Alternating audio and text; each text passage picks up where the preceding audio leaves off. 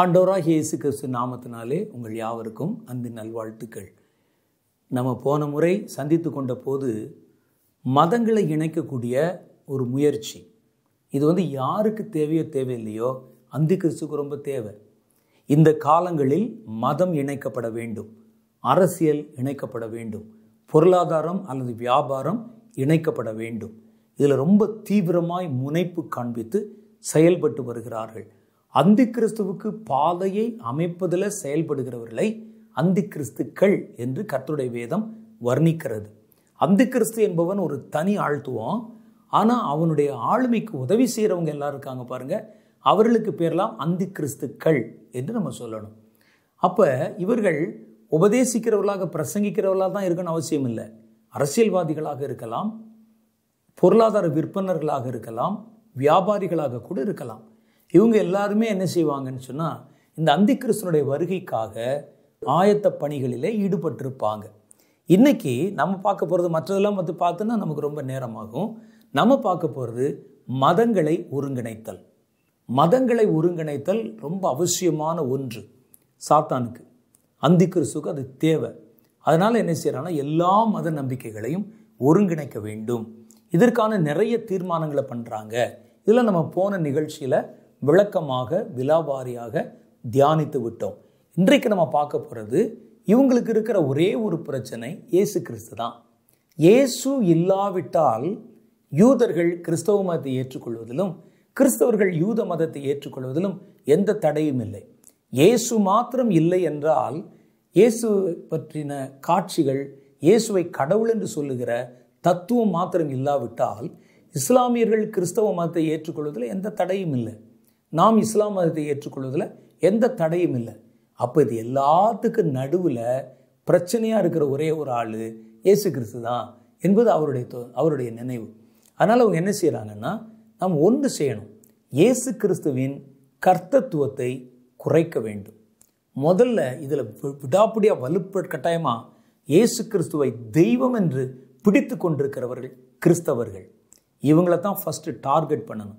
இந்த கிறிஸ்தவர்களை அவர்களை மனதை சமநிலைப்படுத்தி அவங்க இருக்கிற அந்த காரியத்தை இயேசுவின் மேல் வைத்திருக்க நம்பிக்கையை மட்டுப்படுத்தி விட்டால் இவங்களுடைய விசுவாசத்தை பலவீனப்படுத்தி விட்டால் இயேசுவை அவர்களுடைய இருதயத்திலிருந்து பிரித்து விடலாம் என்பது அவருடைய கருத்து. இதுக்கு அவங்க என்ன சொல்கிறாங்க என்ன செய்கிறாங்கன்னா இயேசுவை நீங்கள் கடவுள் ஸ்தானத்துக்கு வச்சுருக்கீங்கல்ல அதை குறைக்கிறாங்க கொஞ்சம் கொஞ்சமாக இயேசு கடவுள் இல்லை நம்மை போல ஒரு மனிதன் சாதாரணமான ஒரு ஆள் என்பது மாதிரி கர்த்தத்துவத்தை குறைத்து உபதேசங்களை கொண்டு வராங்க. சமீபத்தில் நீங்கள் பார்த்துருப்பீங்களே சிலுவை பற்றி கேலி பண்ணி பேசுகிற உபதேசங்களை வார்த்தைகள் இதெல்லாம் சும்மா யாரோ எடுத்து பைபிள் எடுத்து படிச்சுட்டுலாம் பேசலை. இவங்களுக்கெல்லாம் வேற எங்கிருந்தோ உபதேச வார்த்தைகள் கடந்து வருகிறது. இயேசுவை மட்டுப்படுத்தணும். இயேசுவை நம்புகிற இடத்துல வேறு எதை வேணாலும் நீங்கள் நம்பலாம். அவங்களுக்கு அதில் பற்றி எந்த பிரச்சனையும் இல்லை. இயேசுவை நீங்கள் வைத்திருக்கிற அந்த உயர்ந்த ஸ்தானத்தில் ஒரு மனிதனை நீங்கள் வைத்திருந்தால் அவர்களுக்கு பிரச்சனை இல்லை. ஒரு ஊழியக்காரனை நீங்கள் வச்சுருந்தா அவங்களுக்கு பிரச்சனை இல்லை. ஒரு சபையை ஒரு ஆலயத்தை வச்சுருந்தா பிரச்சனை இல்லை. வேறு எதை வைத்திருந்தாலும் பிரச்சனை இல்லை. இயேசுவை மாத்திரம் நீங்கள் வச்சிருக்கக்கூடாது அப்போ இயேசுவை உங்கள் வாழ்க்கையில் பின் தள்ளுவதற்கான முயற்சிகள் கொஞ்சம் கொஞ்சமாய் கொஞ்சம் கொஞ்சமாய் நீங்கள் அறியாமலே உங்களுக்குள்ளே செலுத்தப்பட்டு கொண்டே வருகிறது. உபதேசங்கள் மூலம் பிரசங்கங்கள் மூலம் கூடுகைகள் மூலம் சபையின் மூலம் பல புஸ்தகங்கள் மூலம் யூடியூபின் மூலம் இப்படி மெல்ல மெல்ல வந்து கர்த்தரின் இயேசு கிறிஸ்துவின் கர்த்தத்துவத்தை குறைத்து காண்பிக்கிற காரியங்கள் வருகிறது. இது ரொம்ப தீவிரமாக செய்கிறாங்க எப்படியாவது இதை மடங்கடிச்சிடணும் எப்படியாவது இதை மாற்றிடணும் என்பதில் ரொம்ப தீவிரமாக செயல்படுகிறார்கள். இதற்கு கோடி கணக்கில் செலவு பண்ணுறதுக்கு ஆட்கள் இருக்கிறாங்க. இவங்க தான் உள்ளே வந்து என்ன செய்கிறாங்கன்னா கிறிஸ்துவின் மேல் நீங்கள் வைத்திருக்கிற நம்பிக்கையை கொஞ்சம் கொஞ்சமாக இழக்க பண்ணுகிறார்கள். உங்கள் விசுவாசத்தை தளர பண்ணுகிறார்கள். இயேசு கிறிஸ்துவை என்னுடைய அந்த நீங்கள் கடவுள் என்ற ஸ்தானத்தில் வச்சுருக்கிறீங்களே அந்த உயர்ந்த ஸ்தானத்திலிருந்து அவருடைய மதிப்பை மரியாதையை குறைச்சி கீழே இறக்கி இயேசு என்றால் இப்படித்தான் என்று உங்களை நம்ப வைப்பதற்கான முயற்சியில் ஈடுபடுகிறார்கள். இதுக்கு நம்ம என்ன செய்யணும்? நாம் சொல்கிற இந்த கொள்கைகளை கிறிஸ்தவர்களுக்கு நடுவில் கொண்டு போகணும்னா அதற்கு என்ன வழி என்று அவர்கள் தீர்மானம் செய்து இன்றைக்கி என்ன யோசிக்கிறாங்க அப்படின்னா கிறிஸ்தவர்களுக்கு நடுவில் தான் பல பிரிவினைகள் பல சபைகள் பல்வேறு விதமான அமைப்புகள் நிறைய இருக்குது. அப்போ இதெல்லாம் நம்ம வந்து ஒருங்கிணைக்கணும் ஃபஸ்ட்டு ஏன்னா கிறிஸ்தவ மதத்துக்குள்ளே வந்து எல்லா ஜனங்களுடைய இருதயத்திலும் ஒரு உபதேசத்தை நான் விதைக்க விரும்பினால் இன்றைக்கி சபைகள் பிரிந்து கிடக்கிறது நிறைய சபை. வந்து சின்ன சின்னதாக சின்ன சின்னதாக அதுவும் இந்த பெந்தகோசை சபைகள் வந்த பிறகு வீட்டுக்கு வீடு தெருவுக்கு தெரு மூளைக்கு மூளை முக்குக்கு முக்குன்னு நிறைய சபைகள் இருக்கிறது. இவைகள் எல்லாம் ஒருங்கிணைக்கப்பட்டால்தான் நான் விரும்புகிற ஒரே கொள்கையை எல்லாருக்குள்ளும் கொண்டு போக முடியும். இல்லாட்டா ஒரு சபைக்காரங்க அதை ஏற்றுக்குருவாங்க இன்னொருத்தர் ஏற்றுக்கிற மாட்டாங்க. இதற்கு அவர்கள் என்ன செய்கிறார்கள் என்றால் கிறிஸ்தவர்களை ஒருங்கிணைக்கும் முயற்சி. அதற்கு ஒரு பெரிய டீம் ஏற்பாடு செய்து அதில் பெரிய பெரிய ஆட்களெல்லாம் வச்சு அதற்குண்டான திட்டங்களை வடிவமைத்து கொண்டிருக்கிறாங்க. சபைகளை ஒருங்கிணைக்கும் முயற்சி. சபைகளை ஒருங்கிணைப்பது. இதில் நிறைய ஸ்தாபன சபைகள் என்று சில சபைகள் இருக்கிறது. பெரிய பெரிய சபைகள் இருக்கிறது. அதில் நிறுவனங்களாக இருக்கிற சபைகள். அவர்கள் எல்லாம் இதற்கு உடன்படவும் கட்டுப்படவும் எப்பவுமே ஆயத்தமாக இருக்கிறாங்க. அவங்களுக்கு வந்து நிறைய வந்து உதவி செய்வதன் மூலம் அவர்களெல்லாம் ஒருங்கிணைக்கலாம். என்பது அவருடைய நம்பிக்கை. ஆனால் இந்த சின்ன சின்னதாக பிரிஞ்சு கிடக்கிற பெந்தகோஸ்த இயக்கங்கள் சின்ன சின்ன சபை பிரிவு இருப்பாருங்க இவங்களெல்லாம் ஒருங்கிணைப்பது கஷ்டம். அதனால் சில ஊழியர்களுக்கு யார் பேசினா யார் வந்து ஜனங்கள் நடுவில் சொன்னால் ஜனங்கள் திரளாய் இவர்களுக்கு செவி கொடுப்பார்களோ அப்படிப்பட்ட பெரிய ஊழியக்காரர்களை குறிவைத்து அவங்கள தங்கள் வசப்படுத்தி கொண்டு இவர்களை எல்லாம் இந்த சின்ன சின்னதாக பிரிந்திருக்கிற சபைகளை திரட்டி ஒரு அணியின் கீழே கொண்டு வருகிற பெரிய பொறுப்பை ஒப்படைச்சிருக்கிறாங்க. நீங்கள் இதை சொல்லும்போது நான் இதை ஏதோ கற்பனையாகவோ எங்கேயோ வாசித்தோ சொல்லுகிறேன் என்று நீங்கள் நினைக்கக்கூடாது நான் இதை நேரடியாக அறிந்திருக்கிறேன். எனக்கு தெரியும். இது அவங்க என்ன செய்கிறாங்க என்பது எனக்கு தெரியும். நான் அதை பார்த்திருக்கிறேன். அப்போ இது எவ்வளவு ஆபத்தானவர்கள் உள்ளே புகுந்திருக்கிறார்கள் என்று பார்த்து பயந்திருக்கிறேன் நான். இவங்க உள்ளே வந்து என்ன செய்வாங்கன்னா ஜனங்களை திரளாய் தங்களுக்கு கீழ்ப்படுத்தி கொள்ள சபை தலைவர்களுக்கு உதவி செய்து அவங்களெல்லாம் ஒரு குரூப்பாக சேர்த்து அவங்களெல்லாம் தங்களுக்கு கீழ்ப்படுத்தி கொண்டு இப்படி நிறைய பேர் வந்து எழும்பியிருக்கிறாங்க. இவர்களுக்கு செலவழிப்பதற்கும் இவர்களுடைய கைகளை பலப்படுத்துவதற்கும் உலக அரங்கில் பொது மத கோட்பாட்டை கொண்டிருக்கிற நிறுவனங்கள் இருக்கிறது. அது கோடிக்கணக்கில் உதவி செய்கிறது. அவர்கள் சின்ன சின்ன சபைகளெல்லாம் ஒருங்கிணைக்கணும். சபைகளெல்லாம் ஒன்று திரட்டணும். அவர்களுக்கு இந்த போதனைகளை கற்பித்து கொடுக்கணும். இந்த போதனைகளுடைய முடிவு என்னன்னு நீங்கள் கேட்டிங்கன்னா கிறிஸ்துவின் தெய்வீக தன்மை கர்த்தத்துவத்தை குறைக்கணும். அதை மாத்திரம் செஞ்சுட்டா போதும் இவங்களெல்லாம் ஈஸியாக ஒரு ஒரே மத கொள்கைக்குள்ளே கொண்டு வந்துடலாம் இதற்குண்டான காரியங்கள் இந்த தீவிரமாய் நடந்து கொண்டிருக்கின்றன. பல மத தலைவர்களை அழைத்து கூட்டங்கள் நடத்தப்பட்டு கொண்டிருக்கிறது புத்த மதத்தை இணைக்கணும் ஹிந்து மதங்களை இணைக்கணும் கிறிஸ்தவ மதத்தை இணைக்கணும் அதில் இருக்கிற சபைகளை இணைக்கணும் இஸ்லாமியர்களை ஒன்றா இணைக்கணும் எல்லாத்தையும் ஒன்று திரட்டணும். மத நம்பிக்கை உள்ள எல்லாரையும் ஒன்று திரட்ட வேண்டும் என்பது அவர்களுடைய மிக முக்கியமான குறிக்கோள்களில் ஒன்று. இதை செயல்படுத்த தான் இன்னைக்கு தீவிரமாய் வருகிறார்கள். அவங்க வெளியே சொல்லும்போது அவர்கள் ஜனங்கள் நடுவில் நம்மளாம் ஒன்றா இருக்கணும் ஒற்றுமை என்று சொல்லுவாங்க. இந்த ஒற்றுமை என்பது ஆவியினால் உண்டான ஒற்றுமை அல்ல. அந்தி கிறிஸ்துவின் காரியத்திற்கு பாதை ஆயத்தப்படுவதற்கு வைத்திருக்கிற போலியான ஒற்றுமை. இந்த ஒற்றுமை நீங்கள் உடனே ஒற்றுமைன்னு சொன்னோடனே பாருங்கள் ஒற்றுமையை வெற்றிக்கு வழி கர்த்தர் நம்மெல்லாம் ஒன்றா இருக்கணும்னு சொல்லியிருக்கிறார். நீங்கள் எல்லாம் ஒன்றா இருக்கணும். நானும் பிதாவும் ஒன்றாக இருக்கிறது போல நீங்கள் ஒன்றாக இருக்கணும் அப்படின்னு சொல்லியிருக்கிறார். அது அப்படின்னு சொல்லிலாம் உங்கள்கிட்ட பேசுவாங்க. இந்த ஒற்றுமை என்பது நான் சொல்லுகிற ஒற்றுமை ஆவிக்குரிய ஒற்றுமை அல்ல. இது ஒரு அரசியல் ஒற்றுமை. உங்களை எல்லாம் ஒருங்கிணைத்து விற்று போட்டு உங்களுக்குள்ளெல்லாம் கர்த்தத்துவத்தின் காரியங்களை மட்டுப்படுத்தி எல்லா மதங்களையும் ஒருங்கிணைக்கிற தத்துவத்திற்குள்ளே நம்மை வழிநடத்துவதற்காக கொண்டு வருவதற்காக செய்யப்படுகிற தந்திரம் இது. இந்த தந்திரத்துக்கு நம்ம ரொம்ப விழிப்பாக இருக்கணும். ஏன் மதங்களையெல்லாம் ஒருங்கிணைக்கணும்? அப்படின்னா வேதத்தில் சொல்லுது ரெண்டு தெசலோனிக்கேரின் புஸ்தகம் ரெண்டாவது அதிகாரம் மூணு நாலு ஆகிய வசனங்களில் அந்தி கிறிஸ்து இந்த உலகத்தில் வரும்போது மதங்கள் எல்லாவற்றுக்கு மேலும் தன்னை தலைவனாய் காண்பித்துக் கொள்ளுவான். எல்லாரிடத்திலிருந்தும் தன்னை ஆராதிக்கும்படிக்கு அவர்களை நிர்பந்திப்பான் என்று வேதத்தில் எழுதியிருக்கு. எங்கே எழுதியிருக்கு? ரெண்டு தெசலோனிக்கேரின் புஸ்தகம் ரெண்டாவது அதிகாரம் மூன்று நான்கு ஆகிய வசனங்களில். உங்களுக்கு வாசிக்கிறேன் கேளுங்க. எவ்விதத்திலும் ஒருவனும் உங்களை மோசம் போக்காதபடி எச்சரிக்கையாயிருங்கள். ஏனெனில் விசுவாச துரோகம் முந்தி நேரிட்டு கேட்டின் மகனாகிய பாவ மனுஷன் வெளிப்பட்டால் ஒழிய அந்த நாள் வராது. கேட்டின் மகன் பாவ மனுஷன் என்பதெல்லாம் அந்தி கிறிஸ்துவை பற்றி சொல்லப்படுகிற வார்த்தைகள். இவன் வந்து வெளிப்படுவான். அந்த நாள் வரணும்னு சொன்னால் ஜனங்கள் விசுவாச துரோகம் முந்தி நேரிடணும். கேட்டின் மகன் வெளிப்படணும். அந்த நாள் வராது. அவன் அவன் எப்படி இருப்பான்? அந்த அந்தி கிறிஸ்து எப்படி இருப்பான்? கேட்டின் மகன் என்று சொல்லுகிற அந்த வஞ்சகன் உலகத்தை ஆளப்போகிற ஆளுமைக்காரன் அவன் எப்படி இருப்பான்? அவன் என்ன செய்வான்? என்பதை அடுத்த வசனம் சொல்லுகிறது. அவன் எதிர்த்து நிற்கிறவனாகவும் யார் என்ன சொன்னாலும் எதிர்த்து நிற்பான். நான் சொல்கிறது தான் நீ கேட்கணும். நான் சொல்கிறது தான் நீங்கள் கட்டுப்படணும். நீங்கள் சொல்கிறலாம் நாங்கள் கேட்க மாட்டோம் என்கிற மனநிலையை கொண்டு வந்து விடுவான்.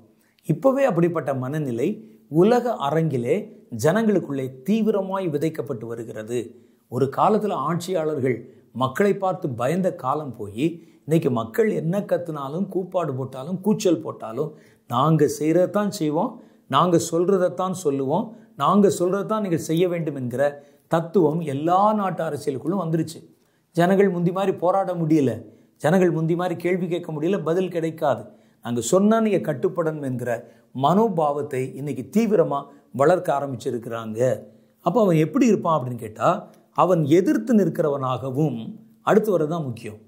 தேவன் எனப்படுவது எதுவோ ஆராதிக்கப்படுவது எதுவோ அவை எல்லாவற்றின் மேலும் தன்னை உயர்த்துகிறவனாயும் தேவனுடைய ஆலயத்திலே தேவன் போல உட்கார்ந்து தன்னை தேவன் என்று காண்பிக்கிறவனாகவும் இருப்பான். பார்த்தீங்களா? அவன் ஒரு குறிப்பிட்ட மதத்தில் மாத்திரம் இல்லை. அந்த வசனத்தில் என்ன சொல்லுதுன்னா தேவன் எனப்படுவது எதுவோ எதெல்லாம் தேவன் என்று சொல்லுகிறார்களோ ஒரு சில மதத்தில் வந்து மரத்தை தேவன் என்று சொல் கடவுள்னு சொல்லுவாங்க. ஆத்த கடவுள்னு சொல்லுவாங்க. மண்ணை கடவுள்னு சொல்லுவாங்க. மலையை கடவுள்னு சொல்லுவாங்க. நீங்கள் எதை கடவுள் என்று சொன்னாலும் அவைகள் எல்லாவற்றுக்கு மேலும் உங்கள் நம்பிக்கை எதுவாக இருக்கலாம். சில மதங்களிலே பிதாதான் கடவுள் என்று சொல்லுகிறோம். ஒரே இறைவன் அவன்தான் கடவுள் என்று சொல்லுவாங்க. ஆனால் எல்லாரும் அப்படி இல்லை. ஒவ்வொரு இடத்துலையும் ஒவ்வொன்றா கடவுள்னு சொல்லுவாங்க. பாம்பை கடவுள்பாங்க மிருகங்களை கடவுள்பாங்க பறவைகளை கடவுள்பாங்க ஆனால் நீங்கள் கடவுள் என்று எதை சொன்னாலும் அவைகள் எல்லாவற்றுக்கு மேலே தன்னை உயர்த்தவும் ஆராதிக்கப்படுவது எதுவோ நீங்கள் எதை ஆராதித்தாலும் சரி அதை பற்றி கவலை இல்லை. ஆராதிக்கிறேன்னு சொன்னால் கிறிஸ்தவர்களை மாத்திரம் அது குறிக்கவில்லை. கிறிஸ்தவ ஆராதனை மாத்திரம் குறிக்கல. இஸ்ரவேலர்களின் யூதர்களின் ஆராதனை மாத்திரம் குறிக்கல. ஆராதிக்கப்படுவது எதுவோ நீங்கள் எதை ஆராதிச்சாலும் பரவாயில்ல. நீங்கள் கண்ணுக்குட்டி ஆராதிச்சாலும் பொன் கன்றுக்குட்டியை ஆராதிச்சாலும் பரவாயில்ல. விக்கிரங்கள் ஆராதிச்சாலும் பரவாயில்ல. இயற்கையை ஆராதித்தாலும் பரவாயில்ல. நீ ஆராதிக்கிறது எதுவோ அவைகள் எல்லாவற்றின் மேலும் தன்னை உயர்த்தி இது எல்லாவற்றுக்கு மேலே நான் தான் கடவுள் என்று சொல்லி உயர்த்தி தேவனுடைய ஆலயத்தின் மேலே எருசலேமில் தேவாலயம் இருக்குல்ல அந்த தேவனுடைய ஆலயத்தின் மேலே தேவன் போல உட்கார்ந்து நான் தான் கடவுள் என்று சொல்லி உட்கார்ந்து தன்னைத்தான் தேவன் என்று காண்பிக்கிறவனாக இருப்பான். அப்போ அந்த கிறிஸ்து அரசியல் அவனுடைய தோற்றம் வேற அரசியல் அவனுடைய செயல்பாடுகள் வேற வியாபாரத்தில் அவனுடைய தோற்றம் வேற வியாபாரத்தில் அவனுடைய செயல்பாடுகள் வேற. ஆனால் மதம் சார்ந்த நம்பிக்கைகளில் சாத்தானானவன் ஆராதிக்கப்படுகிற எல்லாவற்றுக்கு மேலே தேவன் என்று சொல்லப்படுகிற எல்லாவற்றுக்கு மேலே குறிப்பாக தேவனுடைய ஆலயத்தின் மேலே அமர்ந்து தன்னைத்தான் தேவன் என்று காண்பிக்கிறவனாக இருப்பான். நான் தாங்க உங்கள் எல்லாருக்கும் கடவுள் என்று சொல்லி அவன் ஆலயத்து மேலே உட்கார்ந்து தன்னை காமிக்கணும்னா எல்லா மத நம்பிக்கை நடுவிலும் அவன் அதிகாரம் பெற்றிருக்க வேண்டும். அப்படி அதிகாரம் பெறணும்னா அதுக்கு முன்னால எல்லா மத நம்பிக்கைகளும் ஒருங்கிணைக்கப்பட வேண்டும். அதை செய்கிறதுக்கு கிறிஸ்தவர்களுக்கு நடுவில் எழும்பி இருக்கிற ஒரு கூட்டத்துக்கு பேர் தான் உலகமயமாக்குதல் அல்லது பொது மத கோட்பாட்டாளர்கள். இவங்களுடைய செய்தி ரொம்ப ஞானம் உள்ளதை போல ஜனங்கள் நடுவிலே கொண்டு வரப்படும். நீங்கள் இயேசுவை தவிர வேறு எது வேணாலும் நம்புங்க. செழிப்பை நம்புங்க. பணத்தை நம்புங்க. கர்த்தர் உங்களுக்கு வாக்குத்தத்தம் பண்ணின நித்திய ஜீவனை தவிர்த்து எதையும் நம்புங்கள்.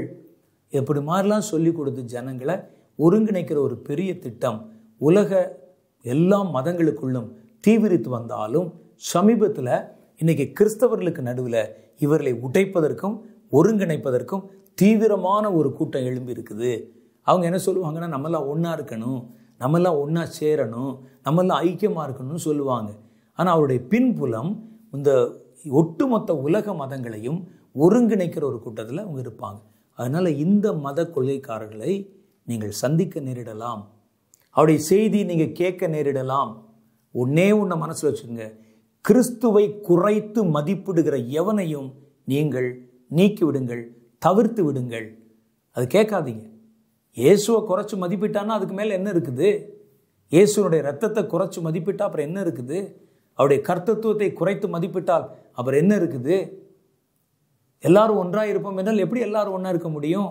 சாத்தான் நாமும் ஒன்றாக இருக்க முடியுமா? வசனம் சொல்லுது. ஒன்றா இருக்கிறதோட தான் ஒன்றா இருக்க முடியும். எல்லாத்தோடையும் ஒன்றா இருக்க முடியாது. ஒளிக்கும் இருளுக்கும் சம்மந்தம் ஏது அது எப்படி எல்லாம் ஒன்றா இருக்கும்? சொல்லுங்கள் ஒளியும் இருளும் ஒன்றா இருக்குமா? வசனத்தில் கேட்குதே ஒளியும் ஒளிக்கும் இருளுக்கும் சம்மந்தம் ஏது கர்த்தருடைய பிள்ளைகளுக்கும் இந்த பேலியாளுக்கும் சம்ம ஐக்கியம் ஏதுன்னு கேட்குதே அது எப்படி எல்லாம் ஒன்றா இருக்க முடியும்? அப்போ ஒன்றா இருக்கிறதோட தான் ஒன்றா இருக்க முடியும். எல்லாவற்றோடும் ஒன்றாக இருக்க முடியாது. ஒற்றுமைன்னு பேசிட்டாங்கன்னா உடனே எல்லாத்தையும் நம்பிடாதீங்க எதில் ஒற்றுமை? யாரோட அங்கே ஒற்றுமையாக இருக்க முடியும்? எப்படி ஒன்றா இருக்க முடியும்? ஒன்றா இருக்கிறதோட தான் ஒன்றா இருக்க முடியும். ஏசு சொல்லும்போது கூட நானும் பிதாவும் தான் ஒன்றா இருக்கிறேன்னு சொன்னார் ஒழிய நானும் சாத்தானும் ஒன்றா இருக்குன்னு சொன்னாரா? இல்லை. ஒன்றா இருக்க வேண்டியவர்களோடு தான் ஒன்றா இருக்க முடியும். விலகி இருக்க வேண்டியவர்களோடு விலகி தான் இருக்க முடியும். அப்போ இந்த ஒரு கட்டுப்பாட்டை இந்த ஒரு தத்துவத்தை கொண்டு வந்து இன்னும் கொஞ்ச நாள் கழிச்சு என்ன சொல்லுவாங்கன்னா நாங்கள் பாருங்கள் எல்லா உலக மக்களும் ஒன்றா இருக்கணும். எல்லாரையும் நம்ம நேசிக்கணும். எல்லா மதத்தாரையும் அன்பு கூறணும். எல்லா மத கொள்கைகளை ஏற்றுக்கொள்ளணும்னு சொல்கிறோம் இந்த ஒரு குரூப் மாத்திரம் இருந்து கொண்டு பிரிவினைவாதம் பேசுகிறார்கள் என்று நம்ம கூட குற்றம் சாட்டுவாங்க. அதை பற்றி நமக்கு கவலை இல்லை அக்கறை இல்லை. நான் நம்முடைய என்னுடைய கருத்து ஒரு கருத்து தான் ஒற்றுமையாக இருக்கணும். ஆனால் ஒற்றுமையாக இருக்க வேண்டியவைகளோடு ஒற்றுமையாக இருக்கணும். சேரக்கூடாதோட போய் எப்படி வந்து சேர்றது? அதுதான் சொல்லுது வேதம். அப்போ இது ரொம்ப தீவிரமாக இன்னைக்கு பரவிட்டு வருது. இவர்கள் பெரிய பெரிய கூட்டங்களை நடத்துகிறாங்க சின்ன ஊழியக்காரர்களுக்கு உதவி செய்து அவர்களை தங்கள் கட்டுப்பாட்டில் வைத்துக் கொள்கிறார்கள். அவர்கள் சொல்லுகிற உபதேசத்துக்கெல்லாம் இவங்க உட்காந்து ஆமேன்னு சொல்லணும் ஆமாஞ்சாமி போடணும். அவர்கள் நல்ல பண உதவி செய்கிறார்கள். அவர்களெல்லாம் ஒருங்கிணைக்கிறார்கள். கவனம். ஒற்றுமை என்பது தேவனால் உண்டாகிறதா? பிசாசினால் உண்டாகிறது என்பதை நீங்கள் தான் ஆராய்ஞ்சு பார்க்கணும். எவர் பேசுகிற ஒரு வார்த்தையிலும் கிறிஸ்துவை குறைத்து மதிப்பிடுகிற எதையும் ஏற்றுக்கொள்ளாதீர்கள். கிறிஸ்துவனுடைய குணாதிசயத்துக்கு எதிரான காரியங்களை சொல்லுகிற பேசுகிற உபதேசிக்கிற போதகங்களை தள்ளிவிடுங்கள். ஏனென்றால் அது உங்களுடைய ஆத்மாவுக்கு லாபம். ரெண்டாவது உபதேசம் இப்போ தீவிரமாக பரவிட்டு இருக்கிற உபதேசம் செழிப்பின் உபதேசம். செழிப்பு ப்ராஸ்பரிட்டிங்கிறது தாங்க முக்கியம். கர்த்தருக்குள்ளே ஒருவன் இருக்கிறான் என்று சொன்னாலே அவன் வந்து நல்ல ஆசீர்வாதமாக இருக்கணும். அது இல்லாவிட்டால் அவன் சபிக்கப்பட்டவன். ஆண்டவருடைய முழு நோக்கமே அவங்க வந்து சொல்கிறது கருக்க ஆண்டவர் வந்து அவருடைய முழு நோக்கமே பிரதானமான நோக்கமே உங்களை எப்படியாவது பணக்காரராய் மாற்றிவிட வேண்டும். அதுதான் அவருடைய நோக்கம். ஆனால் வேதம் சொல்லுகிறது உங்களை பணக்காரராய் மாற்றுவதில்லை. கர்த்தரோடும் கர்த்தருடைய ராஜ்யத்தோடு உங்களை கொண்டு வந்து இணைப்பதே இணைப்பதே அவருடைய நோக்கம். நித்திய ஜீவனை தருவேன் என்பதே அந்த வாக்கு தத்தம் அப்படித்தானே சொல்லியிருக்கு? அப்போ நித்திய ஜீவன் நமக்கு தருவது தான் அந்த வாக்கு தத்தம் அப்போ இவங்க அதை என்ன சொல்கிறாங்கன்னா இந்த உபதேசம் மனிதர்கள் மேல் தேவனுடைய பிரதானமான அக்கறை அவர்களை ஆரோக்கியமாக வச்சுருக்கணும். அவனுக்கு பிரச்சனையே வந்துடக்கூடாது. ஐஸ்வர்யவான்களாய் மாற்றிவிட வேண்டும். இதுதான் அவருடைய நோக்கம். இதை தாண்டி மற்றெல்லாம் தவறு என்பது அவர்கள் சொல்லுகிற ஒரு போதனை. விசுவாசி ஒருவன் வியாதிப்பட்டாலோ அல்லது வறுமையிலே இருந்தாலோ அது அவனுடைய பாவம் அல்லது அவனுடைய விசுவாச குறைவு என்பது இவர்கள் வலியுறுத்துகிற ஒரு விஷயம். சிலர் கேட்பாங்க எத்தனை வருஷமாக ஊழியம் செய்கிறீங்க நான் கிட்டத்தட்ட நாற்பது வருஷம் ஊழியம் செய்கிறேன் ஓ இவ்வளோ வருஷம் ஊழியம் செய்த ஊழியத்தில் எந்த ஆசீர்வாதமே இல்லையே. என்ன ஆசீர்வாதம்? உங்களுக்கு சொந்தத்தில் கட்டடம் இல்லையே உங்களுக்கு வந்து பெரிய பெரிய கார்கள் இல்லையே உங்களுக்கு பின்னால் வந்த ஆள்லாம் நல்லா இருக்கிறானே எங்கேயோ தப்பு இருக்கிறத பார்த்துக்கங்க அப்படின்னு சொல்லுவாங்க. இன்னைக்கு அநேகருடைய இருதயத்தை கருத்துக்களை மாற்றி வைத்து விட்டார்கள். ஆசீர்வாதம் என்றாலே உலக ஐஸ்வர்யம் தான் ஆசீர்வாதம்னு சொல்கிறாங்க ஆனால் வேதம் சொல்லுகிறது இப்போ பாருங்கள் உங்களுக்கு வந்து எவ்வளோ பேங்க்கில் பேலன்ஸ் இருக்குது எவ்வளோ சேர்த்து வச்சுருக்கீங்க என்றெல்லாம் நம்ம இடத்துல வந்து கேட்பாங்க கேட்குறாங்க. அப்போது வேதம் சொல்லுகிறது பூமியிலே உங்கள் பொக்கிஷங்களை சேர்த்து வைக்க வேண்டியதில்லை. அது திருடர்கள் திருடுவார்கள் பொட்டரித்து போய்விடும். பரலோகத்திலே உங்களுடைய பொக்கிஷங்களை சேர்த்து வையுங்கள். அந்த பொக்கிஷங்களை அங்கே சேர்த்து வைக்கும்போது அதை வந்து திருடர்கள் திருடுகிறதில்லை பூச்சி பொட்டரித்து போவதில்லை. அது உங்களுக்கு நித்திய ஜீவனில் நன்மையை கொண்டு வரும் அப்படின்னு கர்த்தர் சொல்கிறார் பணம் ரொம்ப ஆபத்தானது. நல்ல அழைப்பு பெற்ற ஊழியர்கள் நல்ல தியாகம் பண்ணின ஊழியர்கள் நல்ல அவருடைய குணாதிசயத்தில் நல்ல பத்தரை மாற்று தங்கமாக இருந்தவங்களாம் பணம் வந்த உடனே எப்படி நிறம் மாறினார்கள் என்று பார்த்து பயந்திருக்கிறேன். எப்படி இருந்த ஆளுக்கு இப்படி மாறிட்டாங்களேன்னு சொல்லி. பெரிய முதலாளிகளைப் போல பெரிய பெரிய அதிகாரிகளைப் போல அவங்களுடைய தாழ்மையை மறந்து எல்லாத்தையும் மறந்து. இப்போ அவங்களுடைய கவனம் முழுசும் பணம். சில ஆட்களை நான் பார்த்துருக்கிறேன். பல நாடுகளில் வெளிநாடுகளில் அநேக தீர்க்க தரிசனம் சொல்கிறேன் அவருடைய பகட்டான உடைகள் அவர்கள் அணிந்திருக்கிற வஸ்திரங்கள் அவங்களுடைய பின்புலம் எல்லாம் அவ்வளோ இருக்கும். ஆனால் அவங்க என்ன சொல்லுவாங்கன்னு கேட்டால் கோடிக்கணக்கில் இருக்கும். கோடிக்கணக்கில். பணம் சொத்து என்று அவ்வளோ சேர்த்து வச்சுருவாங்க. அவங்க சொல்லுவாங்க நான் நேற்று தினம் ஜெபம் பண்ணி கொண்டிருந்த பொழுது பரலவத்தை பார்த்தேன். கர்த்தர் என்னோடு பேசினார். கர்த்தர் எனக்கு காரியத்தை வெளிப்படுத்தினார். அப்படிலாம் நிறையா சொல்லுவாங்க. ஆனால் வேதம் நமக்கு ஒரு காரியத்தை சொல்லுகிறது ஒரு மனிதனுடைய ஆஸ்தி எங்கே இருக்குமோ அவருடைய இருதயம் அங்கே தான் இருக்கும். பூமியில் உங்களுடைய ஆஸ்தி இருந்தால் நீங்கள் எப்படி பரலோகத்தில் உங்களுடைய இருதயம் இருக்கும்? பரலோகத்தின் தேவன் பேசுவதை எப்படி தெளிவாய் உங்களால் கேட்க முடியும் கிரகிக்க முடியும்? அப்போ அதனால் வேதம் நமக்கு சொல்லுகிறது வறுமையில் இருந்து ஒருவன் ஊழியம் செய்வது சாபம் அல்ல வரம். ஏன்னா உங்கள் முற்பிதாக்கள் அப்படி தான் ஊழியம் செஞ்சுருக்கிறாங்க. அவர்களுக்கு தங்குவதற்கு சரியான இடம் இருந்ததில்லை சாப்பிடுவதற்கு சரியான உணவு இருந்ததில்லை. நான் சொல்வது முதல் நூற்றாண்டில் கர்த்தருடைய சீஷர்கள் என்று இயேசுவோடு வாழ்ந்த அநேகர். ஒருவேளை இயேசு அப்படித்தான் வாழ்ந்தார் ஆனால் அதை சொன்னால் கூட நீங்கள் சொல்லிடுவீங்க இயேசுனுடைய சிலுவையினால் தானுங்க நம்ம ஐஸ்வர்யவான்களாக்கப்பட்டிருக்கிறோம். அவர் சிலுவையில் சிந்தின ரத்தத்தினால் நாம் ஐஸ்வர்யவான்களாக்கப்பட்டிருக்கிறோம். அப்போ நீங்கள் சிலுவையில் சிந்தின ரத்தத்தில் ஐஸ்வர்யவான்களாய் மாற்றப்பட்டிருந்தால் ஒரு யோவான் ஒரு பேதுரு ஒரு பவுல் ஏன் ஐஸ்வர்யவானாக மாற்றப்படலை? சிலுவையின் ரத்தம் அவர்களுக்கு சிந்தப்படலையா? யாரை ஏமாற்றுகிறோம் நம்ம? ரொம்ப கவனமாக இருக்கணும். செழிப்பின் உபதேசம். ஒருவன் வசதியாய் வாழ்வதை பற்றி நான் ஒன்றும் சொல்ல பொறாமை இல்லை எனக்கு. நீங்கள் நல்லா வசதியாக வாழுங்க. ஆடம்பரமாய் வாழ்கிறவன். வசனம் சொல்லுது ஆடம்பரமாய் வாழ்கிறவன் உயிரோட செத்தவன் என்று. அப்போ கர்த்தத்துவத்தின் காரியத்தை இன்றைக்கெல்லாம் பெரிய சபை இருந்தால் தான் அதை சபை என்று அங்கீகரிக்கிறார்கள். ஏசி இருக்கணும் நல்ல இருக்கை வசதி இருக்கணும். இதற்காக எவ்வளவோ வந்து எவ்வளோ பேர் கஷ்டப்பட்டு போராடி எப்படியாவது அந்த இடத்தை அடைந்து விடணும். இப்போல்லாம் அதெல்லாம் ஒரு அந்தஸ்து சார்ந்த ஒரு விஷயம். இத்தனை வருஷம் ஊழியம் செய்தால் எனக்கு ஒரு பெரிய கட்டடம் இருக்கணும். எனக்கு பெரிய ஒரு அமைப்பு இருக்கணும்னு சொல்லி. அதற்கு கோடிக்கணக்கான பணத்தை செலவழித்து ஒரு சொல்கிறார் இந்த லாக்டவுன் வர்றதுக்கு முன்னால் ஒருத்தர் வந்து சொல்கிறார் அது அவர் வந்து என்கிட்ட சொல்லலை யூடியூப்பில் சொல்கிறார் அவர் சொல்கிறார் கர்த்தர் எனக்கு தரிசனையாகி கர்த்தரனுக்கு காரியங்களை காண்பிச்சு ஒரு கிட்டத்தட்ட நானூறு கோடி ரூபா செலவில் ஒரு பெரிய சபை கட்ட வேண்டும் என்று கர்த்தர் சொல்லுகிறார். எனக்கு சொன்னார் மோசே காலத்தில் எப்படி அவருடைய கையை பலப்படுத்தினார்களோ? போட்டுன நகையெல்லாம் கலடி கொடுத்துருந்தாங்களோ? அதெல்லாம் போல நீங்கள் அதெல்லாம் கொடுத்து என் கைகளை பலப்படுத்த வேண்டும். மோசே காலத்தில் கர்த்தர் சொன்னாரே அதே மாதிரி என்கிட்ட சொல்கிறார் சபை கட்டணும்னு சொல்லி. நான் அதை பற்றி ஏற்கனவே சொல்லியிருக்கிறேன். மோசே காலத்தில் அவர்களை ஆராதிக்க வேறு எங்கேயுமே சபை இல்லை. அவர்களை ஆராதிக்க எங்கேயுமே இடம் இல்லை. ஆசிரிப்பு கூடாரத்தை தான் செய்யணும். அப்போ கர்த்தர் பேசினார். இப்போ தடுக்கி விழுந்தா சபைகள். விழுந்து எந்திரிச்சா நீங்கள் வந்து கண்ணுக்கு தெரியலாம் சர்ச்சு. சபை. இந்த நேரத்தில் ஏன் கர்த்தர் உங்கள் இடத்துல பிரத்யட்சமாக பேசி இந்த இடத்துல இதை கட்டு அப்படின்னு சொல்லி ஒரு திட்டம் கொடுத்து ஏன் சொல்லணும்? ஏனென்றால் இது இவருடைய அந்தஸ்து பிரச்சனை. அந்த பாஸ்டர் சபை வச்சிருக்கிறார் இந்த பாஸ்டர் கட்டடம் வச்சிருக்கிறார். நான் கட்டடம் கட்டாவிட்டால் யார் என்னை மதிப்பார்கள் என்கிற ஒரு காரியம். இதிலேயே உங்களுடைய மனதை செலுத்தி கொண்டு போவதுதான் செழிப்பின் உபதேசம். மனிதர்களை பணத்தின் மேலும் ஆடம்பரத்தின் மேலும் வசதிகள் மேலும் திசை திருப்புகிற ஒரு ஊழியம். இதை நீங்கள் செய்ய ஆரம்பிச்சிட்டிங்கன்னா இருதயத்துக்குள்ளே லௌகீக கவலைகள் வந்தால் நீங்கள் கிறிஸ்துவை குறித்து கவலைப்பட முடியாது கிறிஸ்துவின் காரியங்களை குறித்து யோசிக்க முடியாது. வசதியாக வாழுங்க நான் ஒன்றும் தப்பு சொல்லலை. ஆடம்பரத்தை நாடாதீர்கள். ஆடம்பரமாய் வாழ்கிறவள் உயிரோடை செத்தவள் என்று வேதத்தில் எழுதியிருக்குது. இந்த உபதேசங்களை நீங்கள் கடந்து வர நேரிடலாம். அவர்கள் பொழுதன்னைக்கும் கூடி வரும்போதெல்லாம் பணத்தை பற்றியும் பணக்காரர் ஆவதை பற்றியும் ஆசீர்வாதத்தை பற்றி தான் பேசுவாங்க ஒழிய ஒரு நாளும் அவர்கள் நித்திய ஜீவனை குறித்தோ இனி வருகிற வாழ்க்கை குறித்தோ தேவனுடைய சித்தத்தை குறித்தோ பேசுவதே அல்ல. ஆண்டவர் முழுக்க முழுக்க ஆண்டவருடைய காரியங்களை காண்பிக்கும் போதெல்லாம் அவர்கள் அவரை ஒரு சார்புள்ளதை தான் காமிப்பாங்க. இன்னொரு பக்கத்தில் கர்த்தர் நீதி உள்ளவர் என்பதை ஒத்துக்கொள்ள மாட்டாங்க. அதை நம்ப மாட்டாங்க. இப்படிப்பட்டவர்கள் என்ன செய்வாங்க? அப்படின்னு சொன்னால் மனிதர்களை தங்களுக்கு சாதகமாக்கி கொள்வாங்க. நான் ஒரு காரியம் சும்மா வந்து விளையாட்டாக சொல்லுவதுண்டு. செழிப்பின் உபதேசத்தை கேட்கிறவங்கள விட செழிப்பின் உபதேசம் பேசுகிறாங்க பாருங்க அவங்க தான் செழிப்பாக இருக்காருங்க.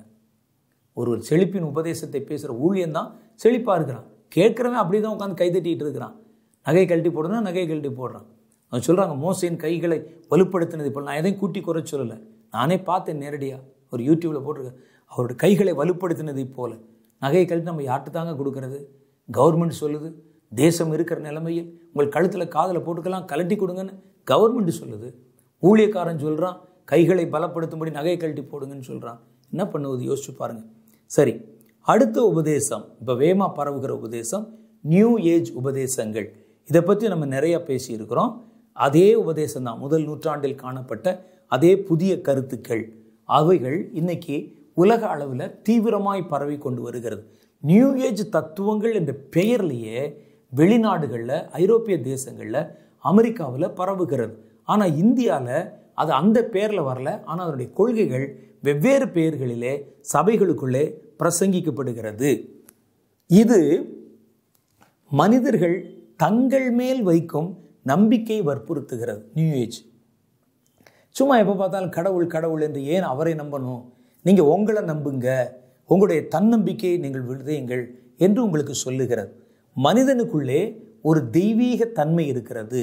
அதை விளங்கி கொண்டு அவன் பிராக்டிஸ் பண்ணுவதன் மூலம் அதில் கவனம் செலுத்துறதன் மூலம் அந்த தன்மையை அவன் வளர்த்து கொண்டால் கடவுளுடைய நிலைமை அவன் அடைந்து விடலாம் கடவுளாகி விடலாம் என்று போதிக்கிறது. ஒரு போதகர் தன் சபையில் அவர் பேசுகிறார் நீங்களெல்லாம் தேவர்கள் நீங்களெல்லாம் கடவுளர்கள் உங்களெல்லாம் கர்த்தர் கடவுளாக மாற்றி இருக்கிறார் அபிஷேகம் பண்ணப்பட்டால் நீங்கள் கிறிஸ்துக்கள் கிறிஸ்துக்களாக உங்களை மாற்றி விட்டார் என்று அவர் பேசுகிறார் பேசிட்டு அவர் சொல்கிறார் கடவுளுக்கு சளி பிடிக்குமா? கடவுளுக்கு இருமல் வருமா? கடவுளுக்கு காய்ச்சல் வருமா? உங்களுக்கு ஒரு நாளும் வராது. நீங்கள் கடவுளாக இருக்கிறீர்கள் என்றார். இதில் பெரிய ட்ராஜடி என்னென்னா அப்படி சொன்னவர் இந்த கொரோனா வந்தவுடனே ஆளையே காணும். சபையை அடைச்சிட்டு லாக்டவுன் பண்ணிட்டு ஓடிட்டார். சொல்ல வேண்டியதானே நம்மலாம் கடவுளாக இருக்கிறோம். கடவுளுக்குள் இருக்கிறோம். நம்மலாம் கடவுளர்கள். நமக்கு பிடிக்குமான்னு சொல்ல வேண்டியதானே இதெல்லாம் வீண் விதண்டாவாதங்கள். அவங்க என்ன சொல்கிறாங்க பாருங்கள் தெய்வீக தன்மை நீங்கள் உங்களுக்குள் இருந்து உருவாக்குவதன் மூலம் அதை வளர்த்து கொள்வதன் மூலம் நீங்கள் கடவுளாய் மாறிவிடலாம். தேவனுக்கு அடுத்த காரியத்தில் மாறிடலாம். நான் அடிக்கடி சொல்லுகிற ஒரு சொற்றொடர் உண்டு. என்னதான் உயர்ந்து உயர்ந்து போனாலும் மனிதன் மனிதன் தான் தேவன் தேவன் தான். இயேசு இயேசு தான் நீங்கள் இயேசுவை போல மாறலாம் ஒழிய இயேசுவாய் மாறிவிட முடியாது. இயேசுவுக்கு வந்து வெறும் இந்த தன்மை மாத்திரம் இல்லை அவருடைய கர்த்தத்துவம் நம் தோளில் வைக்கப்படவில்லை. அது அவர் தோளில் தான் வைக்கப்பட்டது. அப்போ இதிலெல்லாம் நம்ம ரொம்ப கவனமாக இருக்கணும். ரட்சிக்கப்படவும் உயர்த்தப்படவும் யாருடைய உதவியும் நமக்கு தேவையில்லை. மனிதர்கள் தனக்குத்தானே உயர்ந்த நிலையை தெய்வீகத்தன்மையை அடையலாம் என்று வற்புறுத்துகிறது. இந்த மாதிரியான குழப்பமான உபதேசங்கள் நியூ ஏஜ் உபதேசங்கள் மனிதன் தான் விரும்புகிறதை எதையும் அப்படியே செய்யலாம். அவன் அதை கட்டுப்படுத்தி வைக்க வைக்கத்தான் அவனுக்குள்ளே மன இறுக்கம் மன அழுத்தம் உண்டாகி தன் தெய்வீகத்தன்மை இழந்து விடுகிறான் தன்னம்பிக்கை இழந்து விடுகிறான். ஆகவே இது பாவம் இது தீட்டு அப்படின்னு நினைக்காம உங்களுக்கு எது விருப்பமோ அதை செய்யுங்கள். கடவுளையும் நீங்கள் தேடுங்கள் நீங்கள் கடவுளாய் மாறுங்கள் என்று அவர்கள் கற்பிக்கிறாங்க. இந்த மாதிரி கொடிய உபதேசங்கள் காட்டுத்தீயாய் பரவி வருகிற காலத்தில் நம்ம வாழ்ந்து கொண்டிருக்கிறோம். இருக்கிறோம் நீங்கள் சும்மா பொழுதை போக்கி கொண்டு ஏதோ ஒரு இடத்துல பக்கத்தில் சர்ச் இருக்குது சபை இருக்குன்னு போய் சொல்லப்படுற எல்லாவற்றையும் நம்பக்கூடாது. எல்லாவற்றையும் சோதித்து பார்த்து நலமானதை பிடித்து கொள்ளுங்கள். கர்த்தர் உங்களை ஆசீர்வதிப்பார். ஆமை